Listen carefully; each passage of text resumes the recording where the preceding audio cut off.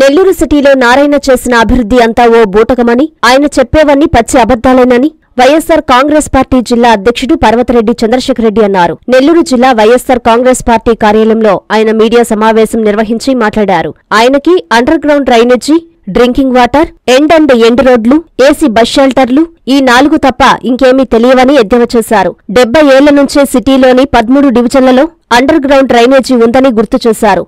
ఎనిమిది వందల ముప్పై కోట్ల అప్పు తీసుకుని పనులు కూడా పూర్తి చేయలేని అసమర్థుడు నారాయణ అని మండిపడ్డారు. ఎండ్ టు ఎండ్ రోడ్ల పేరుతో చెట్లను నరికేసి పర్యావరణం నాశనం చేశాడన్నారు. నారాయణ రాజకీయాలకు కరెక్ట్ కాదని విమర్శించారు. ఒకటి నారాయణ గారు ఎక్కువగా చెప్తున్నటువంటి అబద్ధపు ప్రచారం ఆయన నేను అభివృద్ధి చేశాను అని చెప్పడం. పాపం చాలామంది ప్రజలు నిజమేనేమో నారాయణ గారు అభివృద్ధి చేస్తున్నారు నెల్లూరుని అని అనుకుంటా ఉంటారు. ఆయన చెప్పే పదాలు నాలుగు పదాలు చెప్తారు. Underground drainage water system AC bus స్టాప్లు Anna క్యాంటీన్లు నెక్లెస్ రోడ్డు ఈ ఐదు పాయింట్ల గురించి చెప్తారు. ఈ ఐదు పాయింట్ల గురించి నేను ప్రజలకి సవివరంగా వివరించదలుచుకున్నాను. అందులో భాగంగా ఈరోజు రెండు పాయింట్స్ని మాత్రమే వివరిస్తాను. ఒకటి అండర్ గ్రౌండ్ డ్రైనేజ్ రెండు వాటర్ సిస్టమ్ ఈ రెండింటి గురించి మీ ద్వారా ప్రజలకు వాస్తవాలు తెలియచేయాలా అన్న ఆలోచనతో మేము మీ ముందుకు రావడం జరిగింది. పాత్రికేయ మిత్రులందరికీ కూడా నమస్కరించి తెలియజేస్తున్నాను అందరూ కూడా వాస్తవాలని ప్రజలకు తెలియజేసినప్పుడు అది మీరు ఈ సమాజానికి చేస్తున్నటువంటి మంచి కార్యక్రమం. తద్వారా ఈ వాస్తవాలని తెలియచేయాలని మిమ్మల్ని అందరినీ కూడా రిక్వెస్ట్ చేస్తాను. మొట్టమొదటిది స్క్రీన్లో కొంచెం ఫుల్గా రాలేదు కాబట్టి ఓవరాల్గానే ఎక్స్ప్లెయిన్ చేస్తాను. మొదటిగా అండర్ అండర్ గ్రౌండ్ డ్రైనేజ్కి ఒక ఎస్టిమేషన్స్ వేసుకున్నారు ఐదు వందల పంతొమ్మిది కోట్లు ఖర్చు అవుతుందని వాటర్కి వచ్చేటప్పటికి నాలుగు వందల తొంభై మూడు కోట్లు ఖర్చు అవుతుందని ఎస్టిమేషన్స్ వేసుకున్నారు దాన్ని బెంచ్ మార్క్ వాల్యూ అంటాం. మరి ఇక్కడ అండర్ గ్రౌండ్ డ్రైనేజ్ తీసుకుంటే సుమారుగా ఎయిట్ పాయింట్ ఎయిట్ పర్సెంట్ ఎక్సెస్తో టెండర్ని యాక్సెప్ట్ చేయడం జరిగింది. తద్వారా నలభై ఐదు పాయింట్ ఆరు తొమ్మిది కోట్లు ఎక్సెస్ని కోట్ చేయడం జరిగింది. జనరల్గా ఎక్స్పర్ట్స్ ఒక ఎస్టిమేషన్స్ వేసిన తర్వాత సుమారుగా ఎయిట్ పాయింట్ ఎయిట్ పర్సెంట్ ఎక్సెస్కి వెళ్ళడం అంటే ఆ డబ్బులన్నీ ఇటుపోతాయి అన్నది కూడా మీరు ఆలోచించాలి.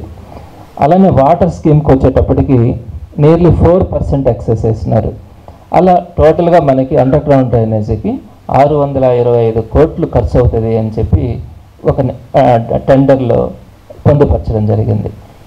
ఈ రూపంలో ఇంత ఖర్చు అవుతుంది ఆరు వందల ఇరవై ఐదు కోట్లు ఖర్చు అవుతుంది అండర్ గ్రౌండ్ డ్రైనేజీకి.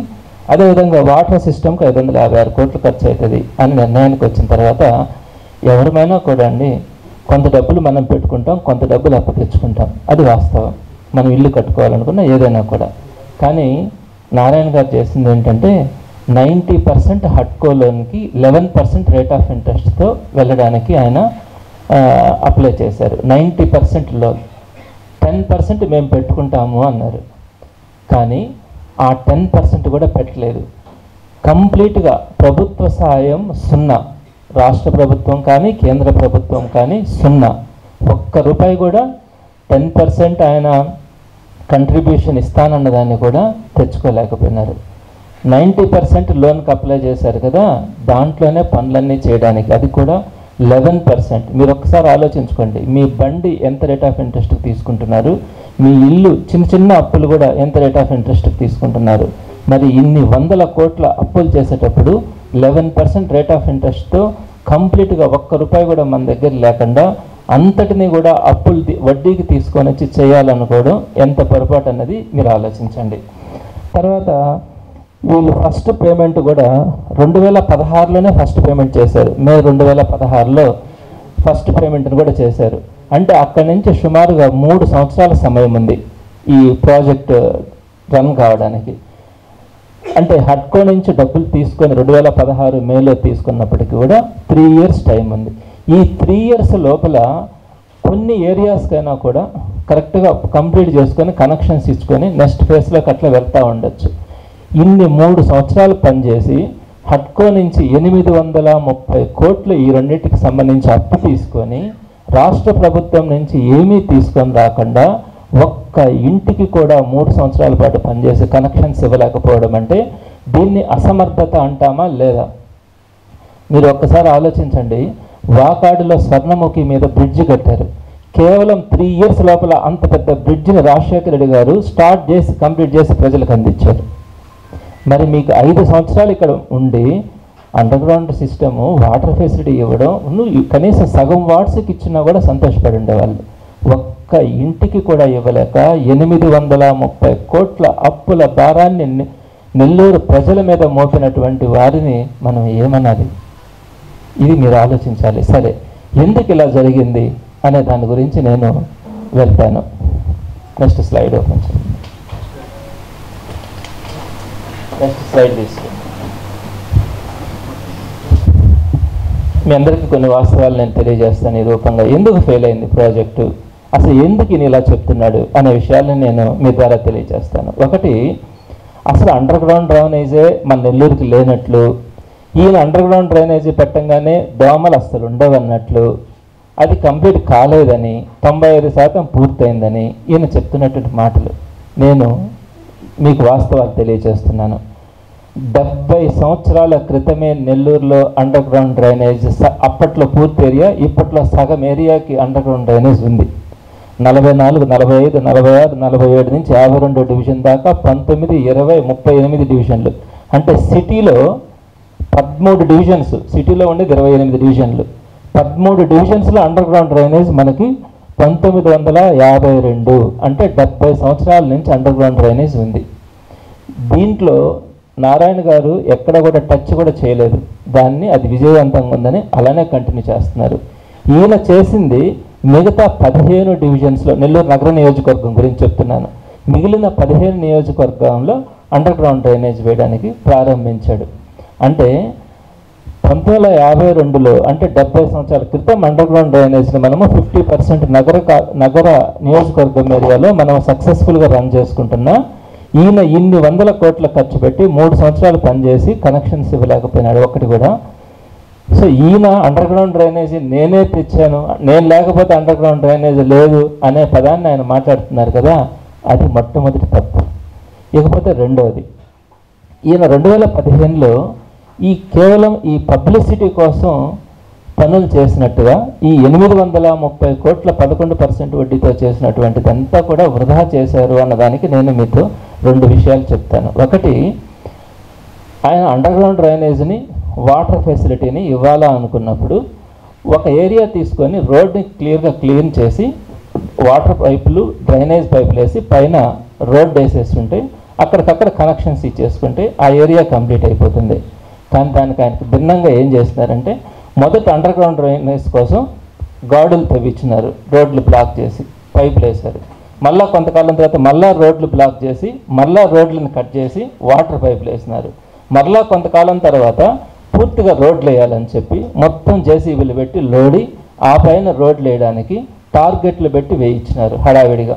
అలా వేసేటప్పుడు ఎక్కడైతే మూడోసారి తవ్వారో ఎప్పుడైతే అప్పుడే అండర్ గ్రౌండ్ డ్రైనేజ్ పైపులు వాటర్ పైపులు వేసినారో ఈ వాటర్ పైపులు లాగేసేసి ఆ జేసీబీతో చేసేటప్పుడు తర్వాత ఈ మ్యాన్ హోల్స్ కానీ అదేవిధంగా ఈ ఇన్స్పెక్షన్ ఛాంబర్స్ అని ఉంటాయి అండర్ గ్రౌండ్ డ్రైనేజీకి అవి ఓపెన్ చేస్తున్నాయి. వీళ్ళు నైట్ టైం జేసీబీతో పనిచేసినప్పుడు ఈ మ్యాన్ హోల్స్ ఈ ఇన్స్పెక్షన్ ఛాంబర్స్ చాలా దగ్గరలో పూడిపోయినాయి.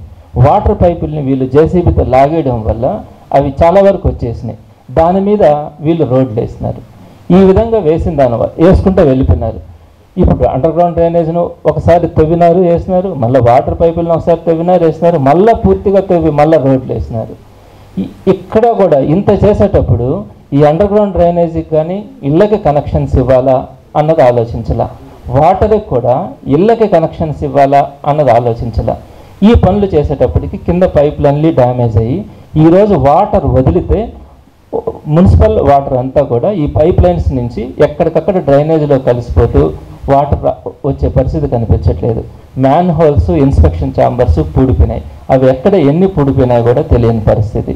ఈ విధంగా అస్తవ్యస్తంగా ఒక సిస్టమేటిక్గా ఒక పద్ధతి ప్రకారం ఈ పనులు చేసుకోకుండా నిధులు దుర్వినియోగం చేసి సిస్టమేటిక్గా లేకుండా చేశారు. నెక్స్ట్ ఇంకొక పాయింట్ కూడా ఏమంటానంటే ఇప్పుడు అండర్ గ్రౌండ్ డ్రైనేజ్ సిస్టమ్ని ఒక కంపెనీకి ఇచ్చారు. ఈ కంప్లీట్ చేయమని. వాళ్ళతో మనము కమిట్మెంట్లో హౌస్ కనెక్షన్స్ కూడా ఇవ్వాలి అని చెప్పి పెట్టుకోవాలి. హౌస్ కనెక్షన్స్ గురించి ప్రస్తావన లేకుండా మీరు కాంట్రాక్ట్కి ఇచ్చుకున్నారు. ఎవరైనా కూడా పేదవాళ్ళు మీరు గమనించండి ఈ అండర్ గ్రౌండ్ డ్రైనేజ్ని హౌస్ కనెక్షన్స్ గీయడానికి సొంత డబ్బులు ఖర్చు పెట్టి కానీ ఎవరైనా వేయించుకునే పరిస్థితి ఉంటుందా? అండర్ వాటర్ ఫెసిలిటీ అంటే ఈ నీళ్ళు తాగాలి కాబట్టి సామాన్యుడు వాటర్ కనెక్షన్ ఇచ్చుకోవచ్చు. కానీ అండర్ గ్రౌండ్ డ్రైనేజ్ ఆ సిస్టమ్ వేసేటప్పుడే ప్రతి ఇంటికి కూడా మనము మన అవకాశం కనిపిస్తే ఎక్కడికక్కడ మనకు పనులు అయిపోతాయి. అలా కాకుండా మీరు కంప్లీట్గా వేసేసుకుంటే వేసే కంప్లీట్ పైప్ లైన్స్ వేసేసినప్పుడు ఇళ్ళ కోసం సామాన్యుడు పేదలు ఈ అండర్ గ్రౌండ్ డ్రైనేజీ సిస్టమ్కి తీసుకొచ్చి కనెక్షన్స్ ఇచ్చుకోవడం దానికోసం సుమారుగా పది పదిహేను వేల రూపాయలు ఖర్చు పెట్టాల ఉన్న పరిస్థితిలో కానీ ఎవరు కూడా ఇంట్రెస్ట్ చూపించరు అది ఫెయిల్యూర్ ప్రాజెక్ట్ అయిపోతుంది. సో మీరు కాంట్రాక్టుల కోసమే పనిచేసినట్టుందే కానీ ఒక్కొక్క ఏరియాని తీసుకొని పైప్ లైన్లు వేసుకొని ఇళ్ళకి కనెక్షన్స్ ఇచ్చుకుంటూ కనుక సిస్టమ్ రాగలిగినప్పుడు అది సక్సెస్ అయి ఉండేది. ఇది కేవలం పబ్లిసిటీతో ఆయన హడావిడిగా రోడ్లను బ్లాక్ చేస్తూ రోడ్లను తవ్వుతూ రోడ్లను వేస్తూ ఈ విధంగా చేసినారే కానీ ఒక పద్ధతి ప్రకారం చేయనందువల్ల ఈ సిస్టమ్ ఫెయిల్ అయింది. ఫెయిల్ కావడమే కాదు. ఎనిమిది వందల ముప్పై కోట్ల రూపాయలు ప్రభుత్వ సాయం లేకుండా లెవెన్ పర్సెంట్ వడ్డీతో తీసుకొచ్చినటువంటిది నెత్తిన పడింది. మీకు ఇక్కడ నేను ఒక విషయం చెప్తున్నాను. ఇందులో వైఎస్ఆర్సీపీ వచ్చిన తర్వాత పేదల మీద ఇబ్బంది పడకూడదని ఏడు వందల ముప్పై కోట్ల రూపాయలని వైఎస్ఆర్సీపీ ప్రభుత్వమే హట్కోకి చెల్లించింది. ఆ మిగతాది కూడా వైఎస్ఆర్సీపీ ప్రభుత్వమే చెల్లిస్తుంది. అయితే ఇప్పుడు ఈ underground drainage system water system fail అయిన దాన్ని కూడా మొదట్లో రెండు సంవత్సరాలు కోవిడ్ వచ్చింది. ఆ తర్వాత ఇప్పుడిప్పుడు అన్ని కంప్లీట్ చేస్తున్నాం. దీన్ని కంప్లీట్ చేయడానికి ఇంకా చాలా పెద్ద ప్రాజెక్ట్ కా అవసరమయ్యే పరిస్థితి ఉంది. దాని మీద ఈ మధ్య అంతా కూడా దీన్ని రివ్యూ చేయించారు. ఏ దీన్ని ఎలా మనం కంప్లీట్ చేయాలా అనే దాని మీద. అయితే దీనికి ఎక్స్పెండిచర్ కానీ టైం కానీ చాలా తీసుకునే పరిస్థితి ఉంది కాబట్టి ఇప్పుడు హడావిడిగా దాన్ని తీసుకోవడం కంటే నెక్స్ట్ గవర్నమెంట్ వచ్చినప్పుడు ఇది పూర్తిగా తీసేసి మరలా వేయడమా? లేకపోతే ఎక్కడెక్కడ ఏమేమి ప్రాబ్లమ్స్ ఉన్నాయి అని అనేది ఎక్స్పర్ట్స్ని పెట్టి దాన్ని చూసి దాన్ని కంప్లీట్ చేయడానికి ప్రభుత్వం ప్రయత్నిస్తుంది. మీరు ఒక్కసారి చూడండి ఎంత నిర్లక్ష్యంగా ఆయన చేసినటువంటి పనులు మన మీద ఎంత భారాన్ని మోపాయి. చేస్తే చేశాడు. నేనే అభివృద్ధి చేసినాను ఎంత నాదే. ఫిఫ్టీ పర్సెంట్ ఏరియాని పంతొమ్మిది వందల యాభైలో పూర్తి చేసుకున్న వాళ్ళము ఇప్పుడు ఇంత తక్కువ చేసి ఈ డబ్బుల్ని ఖర్చు పెట్టి ఉపయోగం లేని పనులు చేసి నా వల్లనే అభివృద్ధి అయింది అని చెప్పుకుంటున్నారంటే ఎంత బాధపడాల్సిన అంశం అన్నది మీరు ఆలోచించాలి. అదేవిధంగా చాలా దగ్గరలో అండర్గ్రౌండ్ డ్రైనేజ్ ఒక లెవెల్ తీసుకోకుండా వేసిన దానివల్ల మ్యాన్ హోల్స్ మీరు తీసుకు చూడొచ్చు. రోడ్ల కంటే పైకి వచ్చినాయి. కరెక్ట్గా లెవెల్స్ తీసుకోకుండా అండర్గ్రౌండ్ డ్రైనేజ్ సిస్టమ్ తీసుకోవడం వల్ల. అవి చాలా ఇబ్బందికరంగా కూడా ఉన్నాయి.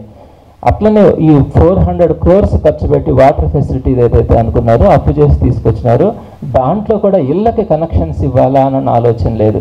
దాన్ని కూడా పైప్ లైన్ లేడు ఆ పైప్ లైన్లు కూడా పగిలిపోయినాయి. ఇళ్ళకి వేసేటప్పుడు కూడా వాళ్ళ సొంత ఖర్చులతో వేసుకోవాలి. అదేవిధంగా వీటన్నిటి కోసంగా మళ్ళీ మెయింటెనెన్స్ కోసం కానీ అప్పులు తీర్చడానికి కోసం కానీ ఒక బాత్రూమ్ కింతని కలెక్ట్ చేయాలా? అదేవిధంగా ట్యాప్ కింతని ఖర్చు చేయాలా? ఎన్ని లీటర్ల కింద ఖర్చు చేయాలా అని చెప్పి డిపిఆర్ కూడా తయారు చేశారు. అవన్నీ సాధ్యమా? సామాన్యుల దగ్గర అండర్ గ్రౌండ్ డ్రైనేజీకి బాత్రూమ్ కింద తీసుకోవాలంటే అవన్నీ అవన్నీ సాధ్యమయ్యే పనుల? వీటిని అంటారు అభివృద్ధి అని? ఎలా చెప్తున్నారు నారాయణ సార్ మీరు అభివృద్ధి చేశాను అభివృద్ధి చేశానని?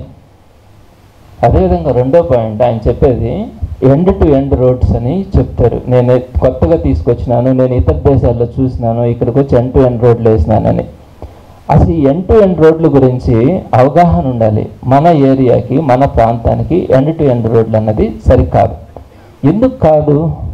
ఒకటి మనం రోడ్ల పక్కన చెట్లు వేసుకోవాలి మన టెంపరేచర్కి చెట్లు వేసుకునే పరిస్థితి ఉండదు.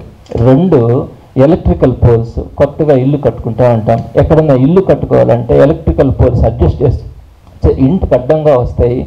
మార్చుకోవాలా అంటే ఎలక్ట్రికల్ పోల్స్కి మళ్ళా రోడ్లను పగలగొట్టాల్సి వస్తుంది. నెంబర్ త్రీ ఈ సైడ్ కాలువలు డ్రైన్ వాటర్ పోవడానికి కానీ ఇవి డ్రైన్ కాలువలు ఉంటాయి. వాటిని ఎక్స్టెండ్ చేసుకోవడానికి సమస్యలు వస్తూ ఉన్నాయి. ఇవన్నీ కాకుండా వాటర్ పడినప్పుడు ఆ వాటర్ లోపలికి పూల్చుకోవడానికి భూమిలోకి ఇంకడానికి మనకు అక్కడ ప్లేస్ లేకుండా ఆ వాటర్ అంతా కూడా రోడ్స్ని హైట్ చేసేయడం వల్ల ఆ వాటర్ అంతా ఇళ్ళలోకి వచ్చేస్తూ ఉండే నీళ్ళన్నీ కూడా. చాలా ప్రాంతాలలో లెవెల్ చూసుకోకుండా ఈ రోడ్లు వేసి ఎండ్ టు ఎండ్ రోడ్లు వేసి సైడ్ కాలువలు లేకుండా ఉన్నందువల్ల ఆ రోడ్స్ ఇళ్ళ ఆ నీళ్ళన్నీ కూడా ఇళ్ళలోకి వచ్చేస్తా ఉన్నాయి. సో చెట్లు వేసుకోలేకపోవడం పోల్స్ వేసుకోలేకపోవడం కాలువలు ఎక్స్టెండ్ చేసుకోలేకపోవడం ఇలాంటి అనేకమైనటువంటి సమస్యలు ఈ ఎండ్ టు ఎండ్ రోడ్ల ద్వారా వస్తున్నాయి. కొంత ప్లేస్ అయినా స- పక్కన వదిలిపెట్టుంటే బాగుండేది. ఇప్పుడు కొన్ని కొన్ని ఏరియాలకు కొంత కొంత సరిపోతాయి. మన ఏరియాకి ఏం సరిపోతుంది అన్నది ఆలోచించాలా? ఇంకొకటి చెప్తారు నేను సింగపూర్కి పోయి వచ్చాను అక్కడ ఏసీ బస్ షెల్టర్స్ ఉన్నాయని చెప్పి మెడ్రాస్ బస్ స్టాండ్ దగ్గర ఒక ఏసీ షెల్టర్ కట్టాడు. ఎవరైనా అక్కడికి వెళ్ళి కూర్చునే పరిస్థితి ఉంటుందా? దాని గురించి నేను తర్వాత మీటింగ్లో నేను ఆ మిగతా విషయాలు వాటి గురించి చర్చిస్తాను. సో ఈ విధంగా ఆయన చేసినటువంటి పనులు చాలా అస్తవ్యస్తం అండర్ గ్రౌండ్ డ్రైనేజ్ కానీ వాటర్ సిస్టమ్ కానీ రెండోది రోడ్స్ విషయంలో కానీ. అసలు ఆయన మళ్ళీ ఇవన్నిటితో పాటు ఏం చెప్తారు? అభివృద్ధి నేను చేసినానని చెప్తారు. అసలు నెల్లూరుకి కరెక్ట్గా అభివృద్ధి చేసింది ఏం జరిగింది అనే దానికంటే ముందు నేను ఒకటి చెప్తాను. కేంద్ర ప్రభుత్వం రెండు వేల పదహారో సంవత్సరంలో కే దేశవ్యాప్తంగా కొన్నింటిని స్మార్ట్ సిటీలుగా సెలెక్ట్ చేసింది. ఆ స్మార్ట్ సిటీలుగా తీసుకుంటున్నప్పుడు ఆ స్మార్ట్ సిటీల్లో మొత్తం కేంద్ర ప్రభుత్వ నిధులతోనే వాటర్ ఫెసిలిటీ కానీ అండర్గ్రౌండ్ డ్రైనేజీ కానీ ఎలక్ట్రిఫికేషన్ కూడా భూమి లోపల ఎలక్ట్రిఫికేషన్ ఇవ్వడం కానీ ఫ్లైఓవర్లు కానీ అంతా కూడా కేంద్ర ప్రభుత్వం ప్రతి రూపాయి కూడా వాళ్ళే ఖర్చు పెట్టి ఆ, స్మార్ట్ సిటీని డెవలప్ చేశారు. అప్పుడు మన మున్సిపల్ రాష్ట్ర మున్సిపల్ మంత్రి ఎవరున్నారు? నారాయణ గారు ఉన్నారు. కేంద్ర మున్సిపల్ మంత్రి ఎవరున్నారు? ముప్పవరపు వెంకయ్యనాయుడు గారు మన నెల్లూరు జిల్లా వాసి ఉన్నారు. ఇద్దరు పట్టణాభివృద్ధి శాఖ మంత్రులు మన నెల్లూరు వాళ్ళే. రాష్ట్ర మున్సిపల్ శాఖ కేంద్ర మున్సిపల్ శాఖ. వీళ్ళు ఉన్నప్పుడు మన నెల్లూరుని స్మార్ట్ సిటీగా చేయించుంటే పుట్టిన గడ్డ మీద మమకారం అని మాట్లాడతారు ఆయన.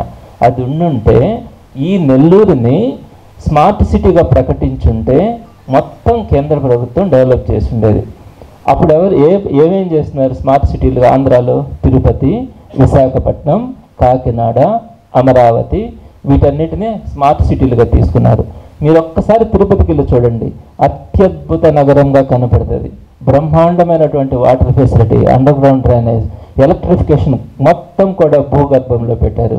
నెక్స్ట్ అడుగడుగున ఫ్లైఓవర్స్ అద్భుతమైనటువంటి రోడ్స్ ఇంత చక్కగా తిరుపతి కనపడుతుంది. ఎందుకని? స్మార్ట్ సిటీగా కేంద్ర ప్రభుత్వం తీసుకొని దాన్ని డెవలప్ చేసింది. డెవలప్మెంట్ అంటే అది. పుట్టిన గడ్డ మీద మమకారం ఉంటే అది చేయించుకొని ఉంటే రూపాయి అప్పు లేకుండా పనులన్నీ కేంద్రం చేసిండేది. మీరు ఒక్క రూపాయి రాష్ట్ర ప్రభుత్వ కేంద్ర ప్రభుత్వాల నుంచి తీసుకురాకుండా పూర్తిగా అప్పులు చేసి అది కూడా పబ్లిసిటీ కోసం పనులు చేసి ఉపయోగం లేకుండా తయారు చేసినటువంటి వారు నారాయణ సార్. అలాంటిది మీరు వైసీపీ ప్రభుత్వాన్ని పదే పదే విమర్శించడం. అసలు వైసీపీ ప్రభుత్వం ఏం చేసింది అని వెటకరంగా మాట్లాడతారు. దానికి నేను చెప్తాను ఆన్సర్. మనం చేసింది. నేను ఆయన ఆయన ఎక్కడెక్కడ చేసినట్టు నెల్లూరు సిటీలో పోటీ చేసి చెప్పుకుంటున్నారు. నేను ఇప్పుడు చెప్తున్నాను ఆయన పోటీ చేస్తున్న నెల్లూరు సిటీ నియోజకవర్గంలో జరిగిన పనుల గురించి మాత్రమే మాట్లాడతాను. ఒకటి మనము వంద కోట్లతో సర్వేపల్లి కెనాల్ శాశ్వత రిమిట్మెంట్ చేసుకున్నాం. అది ఇప్పుడిప్పుడే ఇంకొక నెల లోపల పూర్తవుతుంది బ్యూటిఫికేషన్తో సహా. ఎక్సలెంట్గా వస్తుంది ఆ ప్రాంతం అంతా. ఒక ఒకప్పుడు అది మురికి పట్టి అక్కడ ఎట్లాంటి పరిస్థితులు ఉంటాయో మీకు తెలుసు. వంద కోట్లతో సర్వేపల్లి కెనాలకు శాశ్వత రివిట్మెంట్. ఇంకొక వంద కోట్లతో అద్భుతంగా జాఫర్ సహాబ్ కెనాల్ రివిట్మెంట్. నూట ఐదు కోట్లతో వెంకటేశ్వరపురం పెన్నా రీటైనింగ్ వాల్. ఎప్పుడు కూడా పెన్నా ఫ్లడ్స్ వస్తే పాపం అక్కడ వెంకటేశ్వరపురం ప్రజలు నీళ్ళు వాళ్ళ ఇళ్ళలోకి నీళ్ళు వచ్చి అర్ధరాత్రి రోడ్ల మీదకి వచ్చేవాళ్ళు. వాళ్ళకి శాశ్వతంగా పెన్నా రీటైనింగ్ వాల్. నూట పది కోట్లతో పెన్న రెండవ బ్రిడ్జ్ పనులు కూడా ప్రారంభమైనాయి. ఆ పనులు తెచ్చుకున్నాం. నలభై కోట్లతో రామలింగాపురం ఫ్లైఓవర్ బ్రిడ్జ్ తొంభై కోట్లతో నెల్లూరు బ్యారేజీ పనులు పూర్తి. అంటే వైఎస్ఆర్సీపీ ప్రభుత్వంలోనే తొంభై కోట్లు ఖర్చు పెట్టాం. దాని ముందు రాజశేఖర రెడ్డి గారు కొంత పెట్టున్నారు. పెన్నా బ్యారేజ్ అది కంప్లీట్ చేయడం వల్ల సాగునీరు అదేవిధంగా వ్యవసాయ నీరు రెండింటికి కూడా నెల్లూరు జిల్లా ఇక మీద బాధపడాల్సిన అవసరం లేదు. అలానే ముప్పై రెండు కోట్ల ఖర్చు పెట్టి ముప్పై ఐదు కోట్ల ఖర్చు పెట్టి ముప్పై రెండు మున్సిపల్ పాఠశాలలని మనం అద్భుతంగా అభివృద్ధి చేసుకున్నాం. మీరు ఒక బీవీఎస్ స్కూల్ని చూడొచ్చు అలా ఉందన్నది. ఇరవై కోట్లతో ముప్పై నాలుగు పార్కుల్ని డెవలప్ చేసుకున్నాం. నూట యాభై కోట్లతో రోడ్స్ డ్రైన్స్ ఎక్కడెక్కడ వ్యాకెన్సీస్ ఉన్నాయో వాటన్నిటిని చక్కగా వేసుకున్నాం. పదిహేను కోట్లతో షాదీ మంజిల్ కోష హాస్పిటల్కి మనం ఏర్పాటు చేసుకున్నాం. పది కోట్ల ఖర్చుతో పదకొండు అర్బన్ హెల్త్ క్లినిక్స్ని కట్టుకున్నాం. నూట ఒక్క కోట్లతో వన్ థర్టీ టూ కేవీఏ సబ్స్టేషన్లు ఎయిట్ బై ముప్పై మూడు బై పదకొండు కేవీఏ సబ్స్టేషన్లని పెట్టుకోవడం వల్ల మనం ఈరోజు ప్రశాంతంగా కరెంటు పోతుంది అనే భయం లేకుండా ఉండగలుగుతాం.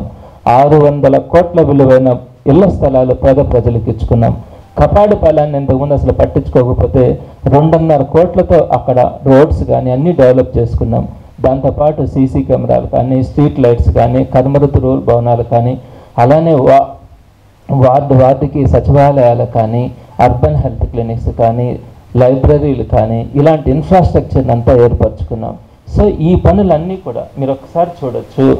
ఇవన్నీ ఒక్క నెల్లూరు సిటీనే. ఆయన చెప్పేది నెల్లూరు సిటీ కాదు. రూరల్ చుట్టుపక్కల ఆయన అమరావతితో చేసిన పనులన్నింటినీ చెప్తారు. కేవలం నెల్లూరు సిటీలో మనము ఏది? సంక్షేమ పథకాలు కాకుండా పదకొండు వందల కోట్ల రూపాయలని ఓన్లీ నెల్లూరు నగర నియోజకవర్గంలో పేద సామాన్య ప్రజలకు కుల మత భేదాలు లేకుండా ప్రతి ఒక్కరికి కష్టాల్లో ఉన్నప్పుడు ఆరోగ్యశ్రీ దగ్గర నుంచి అమ్మఒడి దగ్గర నుంచి ప్రతి ఒక్క ఇంటిని ఆదుకోవడంతో పాటు ఇవన్నీ కంప్లీట్ చేసాం. రెండు సంవత్సరాలు కోవిడ్ ఉన్నప్పటికీ కూడా కంప్లీట్ చేసుకున్నాం. అసలు ఏమీ చేయలేదు నెల్లూరు నగరానికి అని మాట్లాడతారు. అసలు అభివృద్ధి అభివృద్ధి అంటే నేనే అభివృద్ధి అంటే చంద్రబాబు అని మాట్లాడతారు. ఇంతకంటే అబద్ధం ఇంకోటి ఉంటుందా? నారాయణ సార్. మీరు నా పేరు చెప్పడానికి మీరు అసహించుకుంటారు. కానీ నేను మిమ్మల్ని గౌరవంగా నారాయణ సార్ అని మాట్లాడుతున్నాను. అసలు నెల్లూరు జిల్లా నెల్లూరు జిల్లా అభివృద్ధి గురించి మీరు మాట్లాడుతున్నారు. లాస్ట్ స్లైడ్కి వెళ్ళమ్మా. నెల్లూరు జిల్లా అభివృద్ధి అన్నది ఎప్పుడు ప్రారంభమైంది? ఎలా జరిగింది? ఒకప్పుడు మన నెల్లూరు జిల్లా వ్యవసాయం మీద కూలీల మీద ఆధారపడే వాళ్ళం అలాంటి పరిస్థితుల్లో నెల్లూరు జిల్లా అభివృద్ధి అయింది. ఈరోజు నెల్లూరు జిల్లా ప్రజలు సంతోషంగా ఉన్నారు అంటే రాజశేఖర రెడ్డి గారు రెండు వేల ఏడు రెండు వేల ఎనిమిది రెండు వేల తొమ్మిది ఈ మూడు సంవత్సరాల్లో ప్రారంభించిన కృష్ణపట్నం పోర్టు కావచ్చు శ్రీ సిటీ కావచ్చు మేనకూరు సెస్ కావచ్చు మాస్ ఫ్యాబ్రిక్ పార్కులు కావచ్చు మాంబట్టు సెస్ కావచ్చు అపాచీ సెస్ కావచ్చు కృష్ణపట్నం సెస్ కావచ్చు ఇఫ్కో కిసాన్ సెస్ కావచ్చు మనకంటూ ఒక యూనివర్సిటీని ఇచ్చిన విక్రమసింహపురి యూనివర్సిటీ కావచ్చు నెల్లూరుకు ఒక ప్రభుత్వ మెడికల్ కాలేజీ ఉండాలి అని ప్రభుత్వ మెడికల్ కాలేజీ కావచ్చు వాకాడు స్వర్ణముఖి బ్రిడ్జ్ కా బ్యారేజ్ కావచ్చు రామ ఇవన్నీ కూడా నాడు రాజశేఖర రెడ్డి గారు ప్రారంభించి వైఎస్ఆర్ కాంగ్రెస్ పార్టీ జిల్లా అధ్యక్షుడిగా ఎన్నికైన మా చంద్రశేఖర్ రెడ్డికి హార్దిక శుభాకాంక్షలు. మంచి మనిషి సౌమ్యుడు అందరికీ అన్ని వేళలా అందుబాటులో ఉండే ఎమ్మెల్సీ పర్వతరెడ్డి చంద్రశేఖర్ రెడ్డి గారిని వైఎస్ఆర్ కాంగ్రెస్ పార్టీ నెల్లూరు జిల్లా అధ్యక్షులుగా నియమించిన సందర్భంగా మా హృదయపూర్వక శుభాకాంక్షలు.